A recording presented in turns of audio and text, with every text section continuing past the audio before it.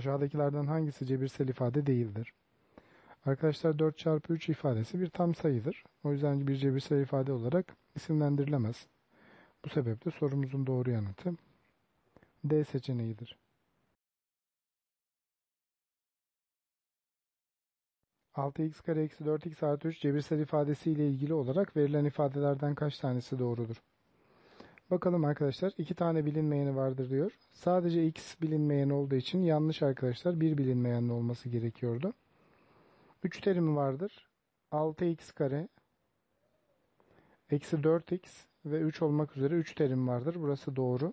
Sabit terimi 3'tür. Evet arkadaşlar sabit terimi 3'tür. Burası da doğru. Katsayıları 6, 4 ve eksi 3'tür. Katsayıları 6, eksi 4 ve 3 olmalıydı. Ee, burada 4 yazdığı için bu yanlış oldu. İki tanesi doğru. Sorumuzun doğru yanıtı B seçeneğidir.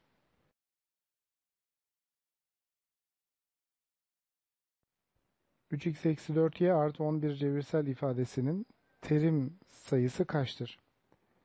3x eksi 4y ve 11 olmak üzere arkadaşlar 3 tane terimi vardır. Doğru cevap B seçeneğidir.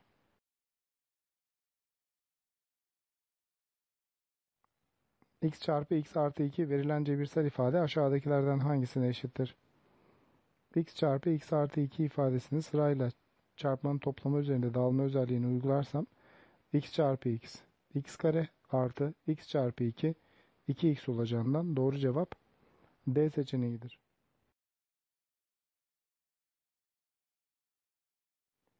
Yukarıda verilen ifadelerden hangileri doğrudur? Bakalım arkadaşlar birinci ifade 3 eksi 4x artı 5 y cebirsel ifadesinin katsayılarından biri 4'tür demiş. Katsayılarından biri 4 değil eksi 4 olmalıdır arkadaşlar. O yüzden bu ifademiz yanlış oldu. İkinciye bakıyorum. 4a 9a e, eksi 7 cebirsel ifadesinin katsayılarından biri eksi 7'dir demiş. Evet arkadaşlar bu e, burada eksi 7 bulunduğuna göre bu ifademiz doğru oldu. Üçüncü ifadeye geliyorum. 6x eksi 3 cebirsel ifadesinde değişkenin kat sayısı sabit terimden 3 fazladır. Şimdi arkadaşlar e, değişkenin kat sayısı yani x'in kat sayısı 6. Sabit terim ise eksi 3. Aradaki fark 6 eksi eksi 3'ten 9 yapar. 3 fazladır o halde bu da yanlış oldu. Sadece 2 doğru olduğuna göre sorumuzun doğru yanıtı B seçeneğidir.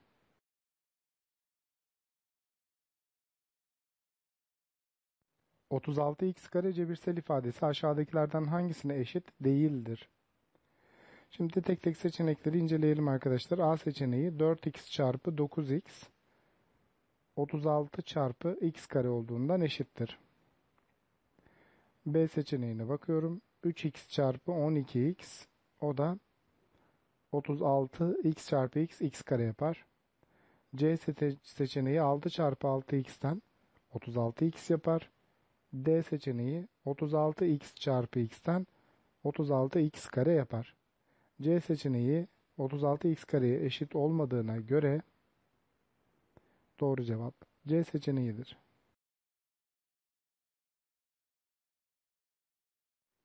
Aşağıdakilerden hangisi verilen cebirsel ifadeye eşit değildir?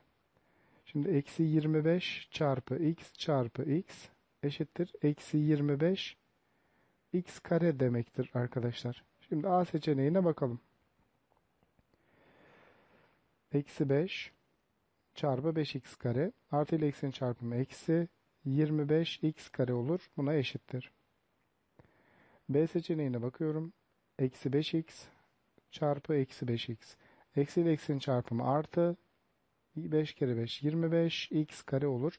Eksi 25 x kareye eşit değildir arkadaşlar. O yüzden sorumuzun doğru yanıtı B seçeneğidir. Verilen çarpım aşağıdakilerden hangisine eşittir? Bakalım arkadaşlar 4 çarpı 5x eksi 3 verilmiş. Sırayla çarpalım. 4 çarpı 5x 20x eksi 4 çarpı 3 12 olacaktır. O halde doğru yanıt C seçeneğidir.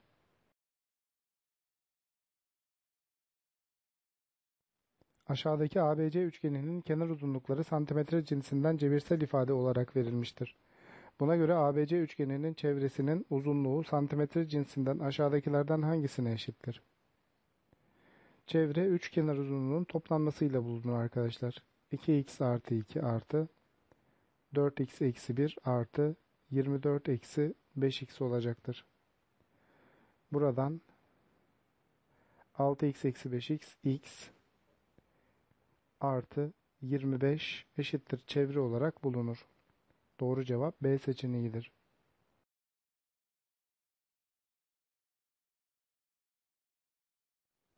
Tanesi 3x artı 1 TL olan çikolatalardan 4 tane alan Eymen bakkala 20 lira vermiştir. Buna göre Eymen'in alacağı para üstünün lira cinsinden cebirsel ifadesi aşağıdakilerden hangisidir? Şimdi çikolataların toplam tutarı arkadaşlar 4 çarpı 3x artı 1'dir. Bunu çarptığım zaman 12x artı 4 lira yapar. Eymen bakkala 20 lira vermiş. O halde para üstü 20 eksi 12x artı 4 olmalı. Yani o da 20 eksi 12x eksi 4'ten 16 eksi 12x olur. Doğru cevap B seçeneğidir.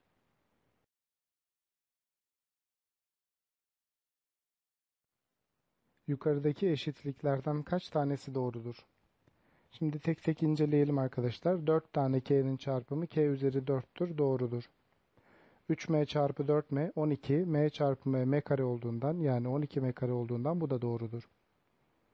Üçüncü ifademize bakalım. 5 çarpı 2 10. x kare çarpı x küp x üzeri 6 değil x üzeri 5 olmalıydı. Çünkü çarpma işleminde üslü sayılarda çarpma işleminde tabanlar eşitse üstler toplanıyor arkadaşlar. 2 artı 3'ten 5 olması gerekirdi. Burası yanlış olur. E, son ifademize bakalım. Eksi eksinin çarpımı artı 4 x çarpı x x kare olduğundan bu da doğru oldu. 3 tanesi doğru olduğuna göre sorumuzun doğru yanıtı C seçeneğidir.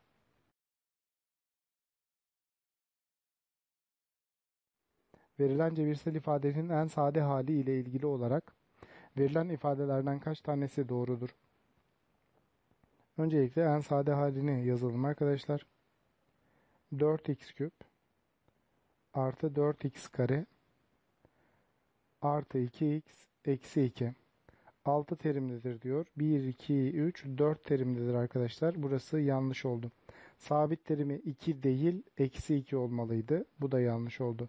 Katsayılar toplamı 8'dir demiş. 4 artı 4 artı 2 artı eksi 2 8 yapacağından burası doğru oldu. 4x küp ile 6x kare terimleri benzerdir diyor. Ee, hayır arkadaşlar benzer terimler olabilmeleri için x'lerin kuvvetlerinin aynı olması gerekirdi. Burası da yanlış oldu. Bir tane doğru olduğuna göre sorumuzun doğru yanıtı A seçeneğidir.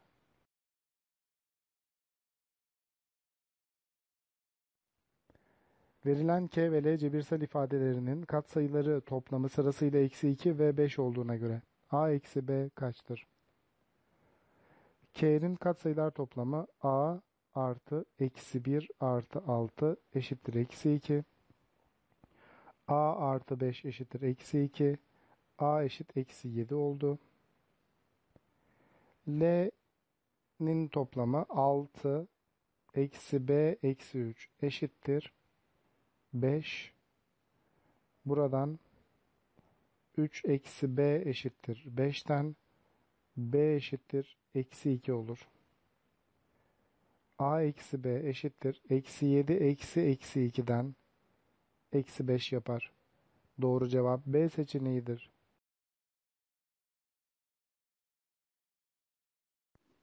M merkezli çemberin çevresinin uzunluğunun santimetre cinsinden eşiti. Aşağıdakilerden hangisidir?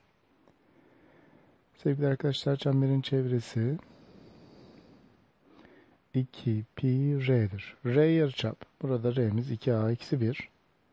Pi'yi de 3 alıyoruz. 2 çarpı 3 çarpı 2a eksi 1 olur. Bu da 6 çarpı 2a eksi 1 demek. 6'yı parantez içine dağıttığımızda 12a eksi 6 olacaktır. Doğru cevap D seçeneğidir.